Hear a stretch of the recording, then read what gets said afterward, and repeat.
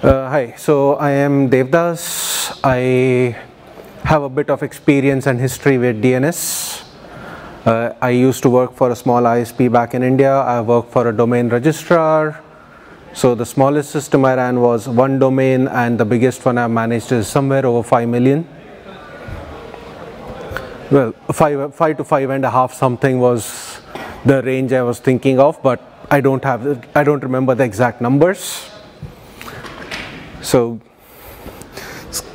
uh, I recently did a training for a five-day hands-on workshop for ISPs in August. So this is more or less stuff that uh, fr from the result of that, a lot of people just don't know about this.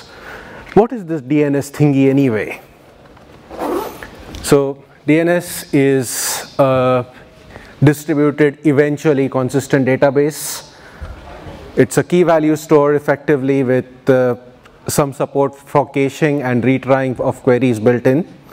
So you know the holy grail of uh, no, non, databases if you follow modern day computing. It's distributed, it's eventually consistent, hits all the buzzwords. It's uh, kind of a core infrastructure component of the internet of pretty much anybody who has more than two or three machines running you, it's always easier for humans to remember names and to go, oh, what the hell is X, Y, or Z? What's that machine rather than IP? Unless you're a network administrator who only remembers IPv4 addresses and then you get IPv6 and you go, ah, I can't remember this. It's a replacement for ETC hosts for those of you who care to remember that this was how things were done back in the day as in ancient history pre-1980 something. It's a lookup service, effectively it's a directory. You look up by host name, well, you look up by a key and you get a value. And uh, you can have multiple values coming back to you, but you have to look up by the full key. You can't, you can't just say wildcard match and go, give me everything that matches foo dot star. That's not going to work. And it's a simple yet highly misunderstood system. It's extremely fun if you uh, hang out and hash hash DNS on Freenode and listen, just look up the queries that people come up with. There are some nightmare queries in there where you go, why are you trying to do this with DNS? Or even worse, I have problems with my public DNS, but I will not tell you the domain name which I'm trying to troubleshoot. Well, good luck. I can't help you. So what does DNS basically do? It handles the two hard problems in computer science. You know, naming things, which is basically what it then it's in the name itself, and cache invalidation. So uh, DNS basically has a very, as I said, it's a distributed system. And a lot of people then you go, oh, if say, say google.com, you don't want your single DNS server to be hit all the time. So or multiple DNS servers, but you don't want to everybody to come and keep querying. So you have a cache system which says, okay, you can store this data for so long. And then someone says, no, no, no, but I need to move this server. We are moving to a different data center or we are changing ISPs and now all the old answers will be wrong. We need to uh, get everybody in the world to change their information of what they know. Well, that's hard. Which is why well, it's two hard problems. DNS is the canonical source of truth for hostname to IP mapping to get various services, whatever. You can kind of override it with config files and etc host, but best thing to do is put your stuff in DNS and then you say, where is this printer located? Look it up in DNS. You can actually put locations of stuff in DNS, you can put hardware information, and you can put who to contact in case something goes wrong in there. There's actually a responsible record field for that. Maps out endpoints for services. So you can uh, say, oh, I want to do, run multiple Jabber servers or whatever, depending on, as long as the application supports it, you can just put in, say, things like, well, canonical example I have is Jabber, but you can have anything that supports SRV records. You, if you're implementing your own protocol, you should just be using those. So you can say, use this and it will automatically figure out where to go. Uh, the DNS is primarily UDP oriented, which is why people say it's unreliable. Well, UDP is kind of unreliable if you're on dial-up. On most modern day stuff, it's not that unreliable. Uh, for and DNS is basically you're going to expect very small responses, so you don't want the overhead of establishing a TCP connection for a 32-bit or 53-byte response. So where one packet out, one packet in, UDP. If you're going to do more, of course, it can always fall back to TCP. For people running firewalls, this is kind of important to remember, especially if there are people who are doing uh, DNSSEC or worse, you're trying to talk to people who are doing DNSSEC and you have DNSSEC uh, validation turned on. Then you suddenly go, why doesn't this work? Well, you should open up port 53, TCP. Uh, DNS is a giant tree I'm assuming people know what that uh, standard thing looks like. So root DNS servers, there are 13 names and a few thousand instances. Uh, or a few, I think it's a few thousand instances because each one of them has a few hundred, except L. Uh, they're named A, A to M and L is the only single instance. Everybody else has multiple instances, one IP that is being announced in multiple places uh, this is a, a, technique called Anycast. So if you're for people who are do, who understand uh, dynamic networking, this is basically where you announce your uh, IP address via dynamic routing protocol in multiple locations, and then the network takes care of getting the packet to the closest server. It's a stupid, simple way of doing load balancing for services that don't require much state. Uh, you can also do this for things like HTTP as long as your backend is reasonably reliable. People hit refresh all the time. So, yep. Okay, so now how do you get a thing into the, uh, so a registry is basically an authoritative source of information. And that's from the English word and uh, you have a whole bunch of organizations which do this. So for every TLD you have, there is a registry. For IP addresses, there are registries. You, you have things like RIPE in Europe, you have uh, APNIC in APAC, then you have per country level stuff as well for some countries. You have IRINN in India, you have CNNIC for China, there's JPNIC, the US has of course their own ARIN stuff, there is LACNIC, AFRINIC, and those are just for the IPs. Every CCTLD has stuff. If you want to run your own registry, Google has released some open source software I think yesterday or the day before. And it's not very expensive. It only costs, it, you need to figure out a unique domain name, figure out why somebody is going to want to buy it, and give ICANN $185,000. It's pretty cheap that way. And then you have to figure out, uh, well, they have some other technical conditions like whoever is doing the technology side must know how to, must have been in operation for a few years. But you know, that's hand wavy details. The key part is can you put up the 185K? Uh, so most registries have resellers and uh, that's basically what we call a registrar. I hate this thing because well, there's way too many people involved in that and a registrar will register a domain which basically means that they get the registry to add a name into their zone database which is usually not bind at, not at that scale, but well, some people still run TLDs on bind. So a domain is uh, a portion of uh, is the label registered at a registry. A label is a string. In DNS, it's a maximum of 63 ASCII characters wide uh, for each field. So if you are if you are doing something in .com or .nl, you get 63 characters. If you are doing UTF-8 encoded stuff with custom uh, in different scripts, then you have fewer characters because that width limitation is still 60. It must be converted to 63-bit ASCII, 63 bytes of ASCII, sorry. You can have multiple levels within that, so your entire string can stretch up to 255 characters, including dots. And if uh, you're talking to name server operators, we almost always refer to zones and never to domains. A zone is just what we do administrative delegation for. It Means that somebody else is now responsible for that. and you can have other delegations within the zone and then they are part of a different zone but they're still part of the top level domain. Internationalization, of course, because we started off with seven with ASCII.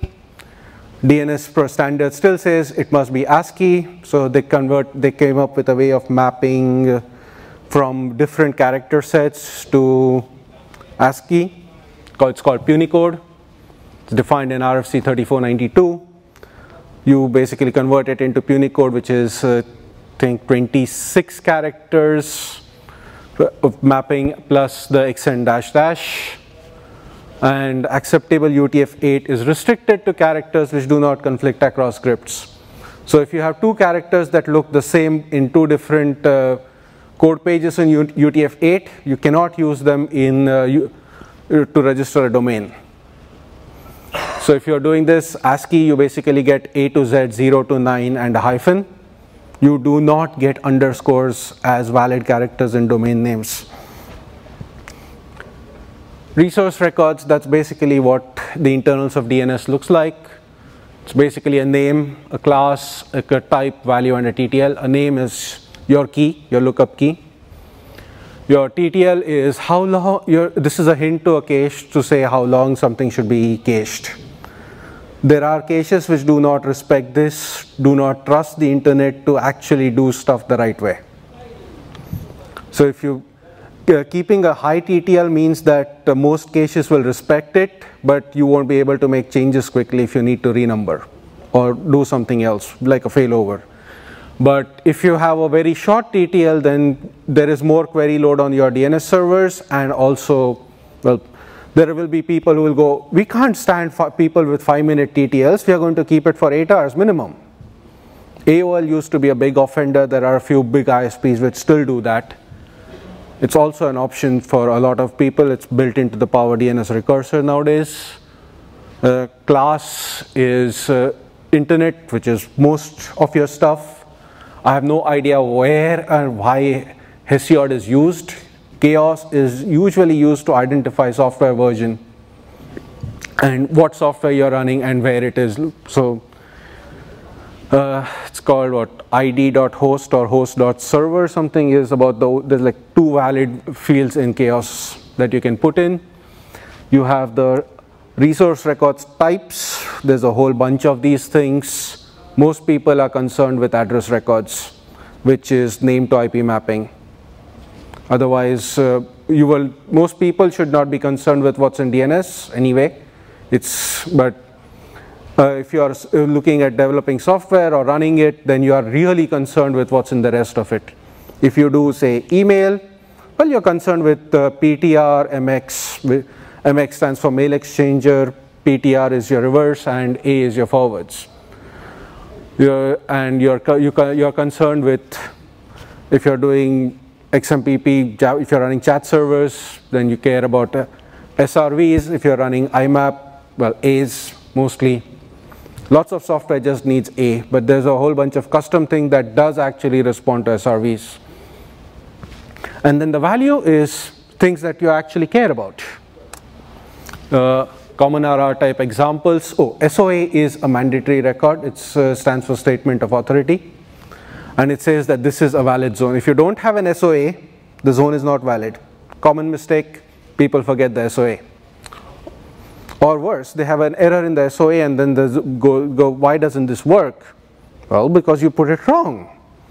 Name servers, address records, uh, mail exchangers, CNAMEs are basically aliases. If possible, try to avoid those. You can use them, there are use cases where it makes sense, but well, not much text is common and very commonly abused or hacked on. It is kind of difficult to get new re resource record types into DNS because, well, there's a process and you need to now get everybody else to upgrade software to follow that, so you just shove stuff into TXT. SPF is always nice. It's a canonical example. You just put in your valid uh, outbound mail servers into a text record and then we'll see about whether it's valid or not. SRV records, uh, glue records, another one of those things that uh, keeps coming up but most uh, DNS server operators will go, what the hell? Well, if, you if you know what to do, it's fine, but newbies don't get this. So there's records in your parent zone which say what the IP address is. If this is only important if your name servers are within the same zone. So if example.com has a name server ns1.example.com, then yes, because the only way to get ns1.example.com is to walk down the tree and you can't get to it until you know where the name servers for uh, example.com are. So the parent has to tell you where this is. If your name servers are not in zone, it doesn't matter. Uh, resolvers, you have the stub resolvers, glibc type stuff. It doesn't really have any brains as such. It just says, give me a query. And I have a query, give me an answer. Okay, and then something else has to go do all the hard work and it gives, oh, I have an answer, software, here you go. Canonical example, libc, no recursion, no caching, can just do queries and parse responses. It's a very, very minimalistic implementation and it delegates work. Then you have the options to run your own recursors. If you're doing this, well, you have choice of options, bind, unbound, power DNS. There is whatever DJB has shipped. There's a few others probably out there. Wikipedia has a list. There is Active Directory if you're running Windows. Canonical rules for this one, restrict querying and recursion to your customers. You do not want this exposed to the public internet directly. Uh, the problem with UDP is of course that it's easy to spoof and not every ISP follows uh, BCP 38. So you have a lot of largish ISPs that let uh, people spoof addresses and uh, so if I make a query for a largest set of records and I come up with a spoofed source, well, I hit a million name servers. If there's a multiplier of 5, and I send out 50 byte packets, some poor person is getting hit by a, a million 250 byte packets simply because these are open recursors. It makes no sense to have this open to the public internet unless of course you are deliberately doing this like your op like OpenDNS and Google. But at that point you had better have the engineering capacity to handle this sort of thing and abuse and restrict it. Uh, example configurations, just as a pretty much as an example, enable DNSSEC because there's no reason for you not to do it in this day and age. Uh, allow known clients, recursion yes, and Power DNS is an even simpler configuration. And yeah, anyway, so authoritative servers, again choices, choices, choices decide what zones you need to be authoritative for, what domains you're going to be responsible for, and which domains you want to delegate. If you're running a small organization, everything fits on one DNS server.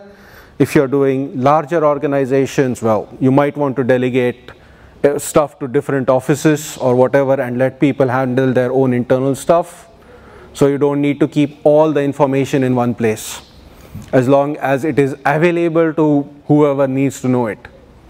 I mean, nobody needs to know that the office, that the IP of some printer in some godforsaken office in Florida is 192.168.1.1. Who cares? It's in Florida. I don't care, even if I, I work here. So the Florida admins can deal with their network, I can deal with mine, and as long as both of us can talk to each other, we are good.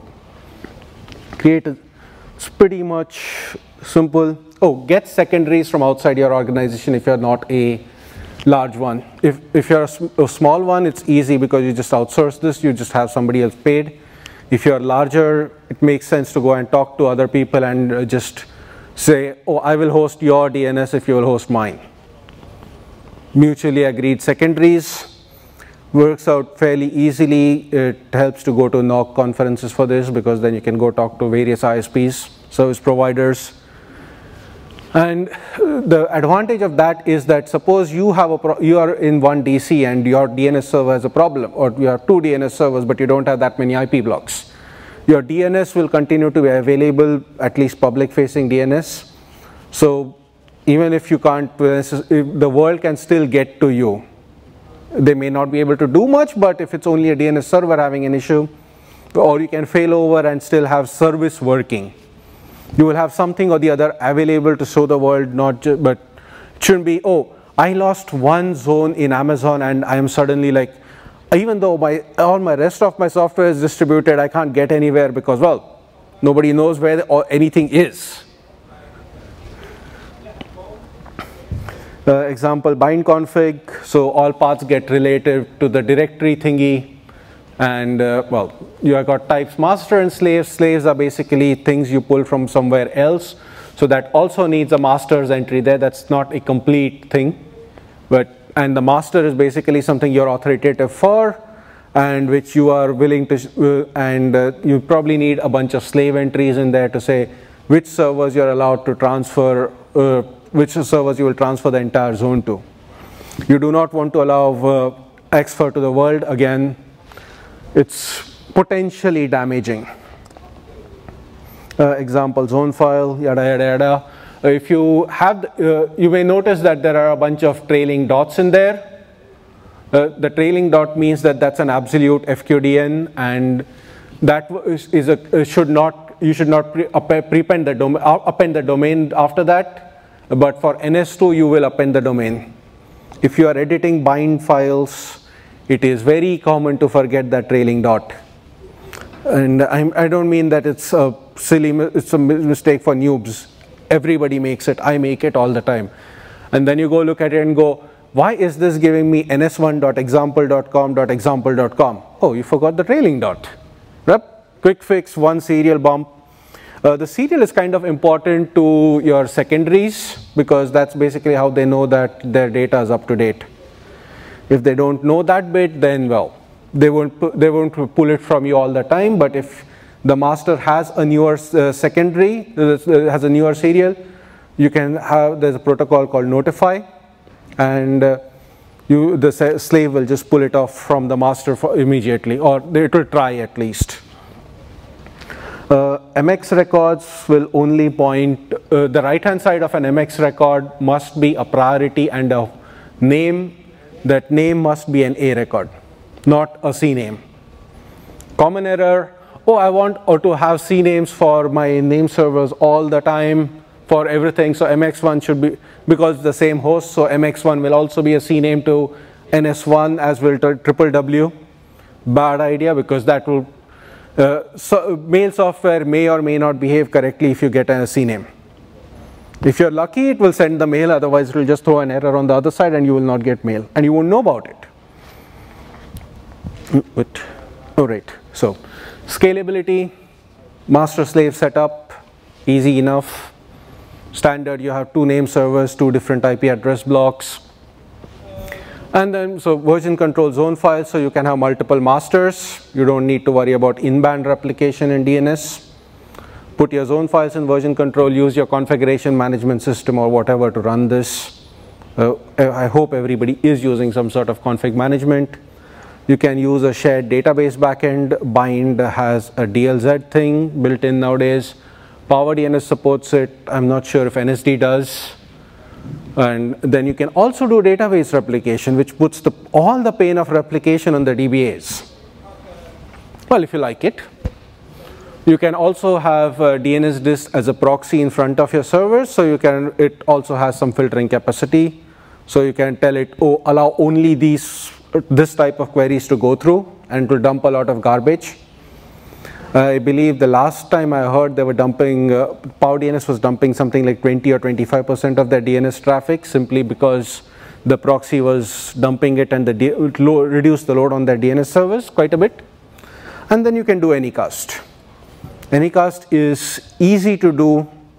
Uh, last time I tried to set it up, it took me about 30 minutes 20 of which were waiting for the network administrators to tell me, you should announce this address. Uh, there's multiple uh, uh, dynamic routing protocol options available for Linux. There's Zebra, there's Bird, Quagga. You could also announce routes statically, just have an interface and have a script that brings it up and down. So I've done this with RipNG in production internet stuff. You'll do this with BGP. Uh, so there's this guy called Nat Morris uh, who works for uh, uh, one of these uh, open source uh, networking companies. They do some fancy switching stuff. But he has his own personal Anycast network. distributed in I think 12 or 13 locations across the US, APAC and Europe. And he runs it for under $1,000 a year, which I think is fairly reasonable expense if you're a corporate and you still want to have global points of presence for your DNS, you can. It's cheap. You don't need to do very much. DNS is, resource, is not very resource intensive unless you're doing it at huge scales. At huge scales, yes, you have problems, but at that point you have the engineering expertise you need to actually do all that anyway. If you're doing a million domains, you're not running it on a VPS. Uh, you can do things with, uh, oh, this is where we start to, things start to get interesting. You can do GeoDNS. So a client that comes from China, you can send them to a, you can give them a different response or no response at all. I don't want to talk to China at all, they suck. Or I don't want to talk to India, these bloody Indians suck, man. you can, or you say, oh, Americans, nah, too dangerous. We should send them straight back home. They will get 127.0.0.1. Uh, up to you, or they come from, uh, if you can say, oh, these people are coming from French-speaking Canada, they shall get French. Like it or not, they are going to get French. Every time you travel and Google changes language, that's the sort of crazy thing they're doing. I don't speak this language. I don't understand the script. No, no, no. You are in Thailand. You are going to get Thai. we insist. But can I change something? No, you cannot. All your search results are now going to be in Thai. Uh, if you have users who are using uh, uh Google DNS or OpenDNS, you should have uh, eDNS client subnet enabled. And uh, for these guys, you have to actually go and talk to Google and OpenDNS so that they will send you information about where the client is. Otherwise, you're not going to know where the client is coming from. You just get the closest Google resolver from whatever their network thinks is. So if you have a user in India with 8.8.8.8, they could, and they're sitting in Chennai, but the closest Google entry is in Delhi, you're going to put them in the wrong half of the country. That's uh, approximately the distance between saying somebody is in Italy and someone is in Norway. Slight problem with languages, scripts, and a whole bunch of other things. And uh, if you send uh, Hindi content to uh, someone in Chennai, bad idea. They kind of have a thing about Hindi imposition. So it would be like sending, uh, well, English content to a French person or Ger or calling a Dutch person German, that sort of thing. Uh, so you can do GeoDNS with, there's this Go software thingy, there's PowerDNS, so you can just do that. You can also do interesting things with this where you do load balancing or you want to do A-B experiments for CDNs. You just say, oh, I'm going to take a certain percentage of my users from this geography and send them to this CDN another percentage to a different CDN and you can say which one of them gives you better performance in which geography. So if you're doing the Power DNS with pipe backend, it's a fairly simple thing to do. It's like a straightforward script. It accepts four parameters, gives back one, gives back a simple output, standard out, uh, answer and standard output bind if you have a new enough one it's built in if it's slightly older well then you don't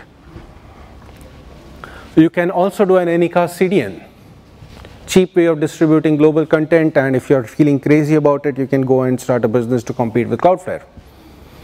Anycast your DNS servers and the DNS server simply returns a response for the closest uh, uh, for their HTTP server pool which is presumably behind a load balancer or a redirector that sends you to content. Akamai does something similar, but they also send you, they first send you to something that calculates where the content is, because not all clusters have all content. So they go, oh, you are making a request for this, but the closest, uh, the closest cluster to you is, it's in France. So you can go to our France location. Even though Amsterdam is technically closer, Amsterdam doesn't have the data. Well, France has it. And I'm not going to, instead of waiting for the data to go from France to Amsterdam to you, you can just go to France. Faster for everyone. Uh, reverse DNS, kind of critical. And please don't forget this. IP addresses, every IP must have a PTR record. If you don't have one, get your, well, fix it. Uh, it's in address.arpa always, this delegation always comes from your IP provider, not your hosting provider. Not, so if, you're, if you have a local IP, it needs to be your ISP or whoever is providing network services who delegates this to you, not the person you registered your domain with uh, which is why it's a different zone. And reverse delegation is always on octet boundaries or hextets for IPv6. So that makes for really, really long entries in DNS. Well, you can also auto-generate IPv6 entries. Uh, it's basically v4, v6, uh, that's v4, that's easy, and that's an IPv6 PTR. That's a lot of zeros in there in the PTR and you have to type them all. The forward is just colon is just 2001 colon db8 colon colon 1 and colon colon 2. Forwards are really short. The uh, reverse, nope, spell it all out. I have no idea why they didn't do it for reverse as well, but well, okay. Uh, delegation, somebody else is responsible, foo.example.com goes off to ns1.example.net and example.org. That's a different administrator, not part of my admin zone. So you, somebody else is responsible. Helps when you are partitioning load between offices, between departments, between any group of entities that is large enough to want to do their own IT. If you're the only IT person, doesn't matter, but you might as well do it if you want to, if you are running a separate zone for anything. So if you're doing separate zones for prod and corp, separate service. Uh, Anti-spam is use DNS a lot. Uh, if you want to run your own DNSBL, you should. It's fairly easy. You just look up the reverse octets, but instead of in-addr.arpa, you, whatever TLD you have put in for your zone. And if you have a response, it's a blacklisted client. So if you don't want mail from Google, you just put in their servers into the blacklist and go, okay, this range generate a list, done. Don't want mail from Yahoo or Microsoft hosted domains? Sure. And then it's all that it costs you is a small DNS query instead of accepting the mail, parsing it, filtering it and going, ah, this looks like spam or oh, it comes from this source, it must be spam. Why are desktop users directly sending me mail? They shouldn't be doing that ever. Just drop it on the floor. Well, that's what they have their own mail relays for. Not they shouldn't be talking to my mail exchangers, which are for incoming mail, not outgoing. So if you have someone like that, that's probably a bot or a virus or some poor sucker's PC or bot or router which is now sending out spam. I don't want that any of that content. Just drop it. And then you say, oh, I don't want this. I can share this information with the world. Here's another DNSBL. There's quite a few of these with different policies. You can run your own if you don't want to just, you can also rsync data from Spamhaus or CBL or a bunch of places. If you're a small customer, they don't care. If you're a big one, well, then they, and you are big enough to need rsync, go talk to them, it's not that hard. Uh, SPF and DKIM uses uh, TXT records as I mentioned earlier. TXT records everybody can use. You don't need to add a new record for this. Takes a few years if, of public discussion before you can get in anything useful. Whereas SPF is like, oh, here, here's my list of outbound servers. Here's my list of valid networks. Uh, and you just put in that string or that list into your into a TXT record appropriately formatted, saying it's SPF and your, whatever your SPF checker is will parse that record. It queries for your domain when it says, oh, I'm sending from this domain, it says, give me the SPF record, okay, this is valid server, blah, or not valid, mark as spam, drop. You can also, SPF records also let you set policy saying, most likely this is, I'm allowed to send mail from here, but I don't know if everybody is sending from here is, so just say that's probably spam, but don't reject it so if you have got users who are slightly advanced and sending dot, using dot forwards or whatever, or sending mail from their home home computers and ISPs using your domain, which is also which is also a thing. This is not a problem. Uh, DKIM is from Yahoo, and they basically said put public keys in DNS and then use those to sign email headers. That way you know that if that thing matched, it actually came from me. If it doesn't match, you know that that was not a mail that was not that hasn't come from a Yahoo mail server, so please stop reporting it to us. Which means that if you have someone, if you have DKIM set up right, then most people, if somebody sends mail claiming to be from your domain, it'll just stop. Uh, SSHFP, one of my favorite records because it's so rarely used. You put host uh, SSH, you put your SSHFP into keys, fingerprints and DNS. You use your SSH keychain to figure out what the what the actual entries are. You can copy and paste those into a zone. Set verify host key DNS in your client, and then you are never bothered by that pesky. Oh, this is a new server. Should I put your? Should I accept this key or not?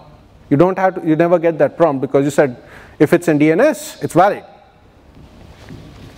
You, you can also use things like let's encrypt. Well, if you control the domain, you, if you control the DNS, you can just say, oh, I control the DNS, so I control the domain, therefore you should be able to issue me with a certificate for the domain. They have a DNS challenge, you add a TXT record into DNS and you get certs from them. Hey, free HTTPS, what's not to like? Uh, you can use DNS for firewalling or for building walled gardens. So you can, it's called response policy zone in bind terminology, but uh, essentially it's just a thing that says for these domains, override whatever, don't bother to make a query outbound, just pretend to be authoritative. And so you, if there are a bunch of botnets slash viruses which uh, will generate names according to a fixed algorithm. So you can generate all of those and say, here, for these things, block list. Or, oh, client, this client is making requests here. Well, here's the thing, I'm going to put them into a walled garden and then the user can come and complain to me and I know who it is and where that host is. It's a very nice way of saying I am blocking outbound spam and preventing other issues as well. Because, well, and then you can also get an RPZ feed from, bio, from ISC. So you can share, this information is shared. They have a list of reasonably reputable feeds and it's transferred using Xfer so you don't even waste too much bandwidth on it. Uh, Spamhaus offers a feed, uh, uh, ISC offers, there's a few others. And, ah yes, popular topic, not really. DNSSEC, kind of important, and uh, for a lot of people it's become a religious war. Whether you should do it or not, I say you should, simply because it doesn't cost you much to do it, uh, other than the fact that if you fuck up and forget to manage your keys properly and uh, renew them, then well, then you're completely out of action until you fix that. But it's the same as giving uh, users an expired SSL cert on your site. So except, uh, well, if, if, you have if you have broken this, you're basically broken up to the duration of your cache for your TTL. But which is why people say that you should have your keys, uh, uh this key should be reasonably short uh, duration, like four days or a week or something. So you basically renew this every week, every two weeks. And then you have a different key which you use to sign that, which has a much longer lifetime but your records are signed, if your record has a TTL of one day, you can keep it for two weeks and say, okay, this is valid for two weeks, we then you, every two weeks you have a plan change. Because if it's a plan change and it happens every two weeks, you know how to do this. With if it's anything like SSL certificates, oh, we got a cert for one year or two years, and then two years later, uh, how am I supposed to do this again? How many people here remember all the magic OpenSSL incantations? Anyone? Nope, exactly. Exactly. What's worse is if you're running configuration management software that does its own thing and it says, oh, I'm going to generate certificates for 10 years, including CAs, because I'm going to run my own CA. Oh, good luck. 10 years later, why is everything broken? oh, because somebody had a cert that is now expired and nothing works. And we can't fix it because we have no idea of what is going on. So The advantage of DNSSEC, uh, especially if you're doing it in-house is, well, you can actually trust your DNS because, it's because then you know that whoever is giving you is giving you a signed response. You can increase, you can have slightly more trust. You have SSHFP, which is, then you can say, oh, this was also signed, so it's, uh, it is actually signed by someone who knows that uh, this was done in the zone. And then, therefore, this signature is valid because someone else has also looked at it and said it's valid. Of course. And if DNSSEC breaks, well, then you have broken DNS, and that's a bad thing. Mm, yep, so you have two kinds of keys. You have zone and key signing keys. Zone signing keys, short lifetime, KSK way longer. Zone, ZSKs are like two weeks, KSKs are a year or two. Uh, your KSK is basically you use to create a, a record called a DS record, which you then push into your parent zone. And uh, then they say, oh, this is what you, what everybody else will be saying. Oh, the parent has said this. It's a part of your parent. You are not supposed to put the DS in your zone. You're supposed to have it sent to your upstream registrar or registry rather whoever is, so if you're in a .com, the operators for .com, which is VeriSign, NL, .nl goes to NL. And yeah, your public part of your key is published in DNS, so anybody can ver verify signatures. When you're rolling keys over, make sure that your old signatures stay valid. There's an RFC about considerations for this sort of thing. It's fairly dry reading. Uh, I think I spent a few weeks trying to get through that and fell asleep each time. it's dry. Uh, NSEC and uh, slash NSEC 3, you can authoritatively say that something doesn't exist, which is very nice if you are operator like VeriSign or whatever, but uh, you can say, oh, this thing, it's not a failure, this actually doesn't exist. I do not have a host named MX1, whatever. Uh, the RR type is RR sig, but it's all auto-generated if you're using bind or power DNS. You just tell it, I have a keys, just sign my zone for me, and then you have the RR SIGs are automatically added. Uh, DANE is one of these other interesting approaches to TLS. It's, so you can say, oh, I only want certificates that are signed by this other company. So even if Belgacom gets compromised or uh, the Turkish uh, CA goes crazy and they start signing certificates for Google or Yahoo or whatever your company is, it doesn't matter because anybody that uses DANE will simply go, oh, they have to use my certificate authority. So you can say, I say it is this certificate authority. If it's not, that's broken and that should fail. So you can, you can basically stop man-in-the-middle attacks. Given the number of CAs and the number of compromises, I don't know whether you want to trust those CAs, I don't. Well, so essentially uh, to me nowadays any HTTPS is about the same as self-signed. I assume compromise until proven otherwise. Uh, so the, there's an RR type TLSA. I think that took a few years to get there and it's still not supported in browsers. So DANE still says you need to use 1024 bit keys for DNSSEC and a lot of browser developers are going, that's not strong enough. We want, we want you to use at least 2048-bit keys. Uh, lifetime of 1024-bit keys is assumed to be about uh, till 2022, after which you shouldn't, but well, you can do it for more or less, doesn't really matter, but more than that is not going to work out because the root uh, of the zone, the dot itself is 120 is 1024 bits. Uh, RFC 7672 for all the damn details. It's a lot of reading and questions. Anyone interesting? Do you have a favorite? Sorry. Yeah, thank you.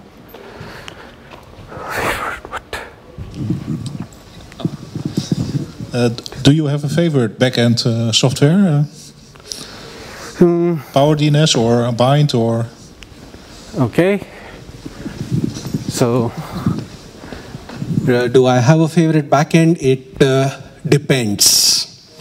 Usually, if you are just running a small site, I would say use Bind.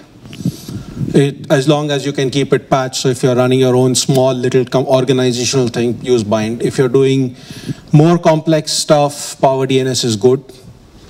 If you are doing really large sites, I really like Power DNS, especially with a proper database backend, because then you can have a nice little graphical front end or API in front of it, and then you no longer have to do any record updates ever, because that's somebody else's problem. You can also script updates, which is not so nice with flat files. The problem with bind DLZ is more or less that the performance is really bad. Uh, the last time I ran benchmarks was a few years ago when, we were, when I was doing the 5 million thingy. And uh, bind was able to, bind was maxed out at about 1400 requests per second. Power DNS hit about 45,000. Uh, it's a order of magnitude difference there. But uh, if you are running one site, I don't. I would not suggest using a database backend or LDAP or whatever.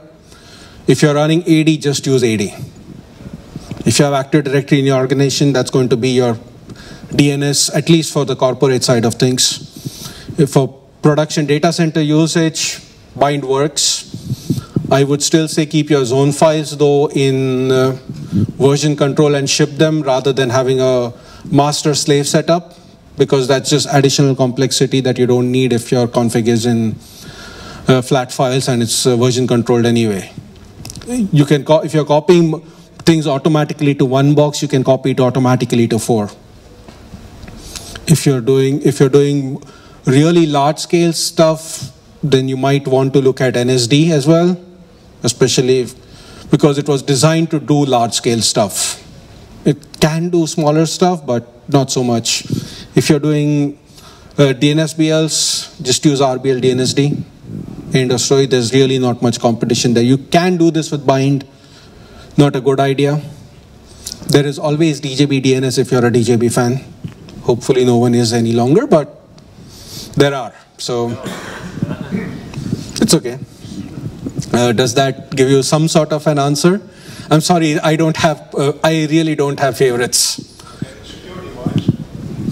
Uh, security-wise, same question. Uh, bind not automatically updated, worst choice ever. Bind automatically updated, good enough. Power DNS and NSD have been reasonably good. Power DNS has had a few more issues than NSD, but I don't know whether that's more a function of people, number of people looking at it. Security wise, you can, you, you, you can use pretty much anything as long as you keep it up to date. If you aren't keeping your software up to date, well, then it's not going to work. I kind of like automated updates even in production servers for a whole bunch of things, like name servers, for example. As long as you don't update all your name servers in one shot, you're fine. Anybody else questions? Anything else you would like me to talk? Sorry, if you could use this. if you have uh, yet rolled out uh, DNSSEC signing um, of your zones, um, how do you manage um, your DNSSEC keys? So for rollover and so on. Okay. So if you've just done DNSSEC, how do you manage your keys? Uh, carefully, uh, that's the easy answer, but usually you have one host on which you keep your keys and do everything. So your private keys stay on that host is the same as where you do SSL certificates or banking transactions or whatever. This is one of those things where you say this is, if you're doing GPG signing, how do you do your GPG signing? Same logic. The private keys stay on one box, they stay with you, they're distributed to name servers in a reasonably secure fashion. That's what you have to take care of. You have to ship them. So you can encrypt them and ship them and then decrypt them on the host as long as the decrypted part is readable to your name server. Uh, restrict access via SE Linux or ACLs or whatever, so only the name server software can read it. But and your secondaries don't need all that access. So as long as your ZSK is out there, public key is out there, that's fine. Your key signing your signature generation has to be secure, but you can just ship the secured thing off and just sign zone off and it works. So you can also just run a hidden master, which is not public at all. It's hidden behind a layer of firewalls and other things, and then use that. So then, and also back up your private keys. And remember, don't trust your backups. Validate them, restore.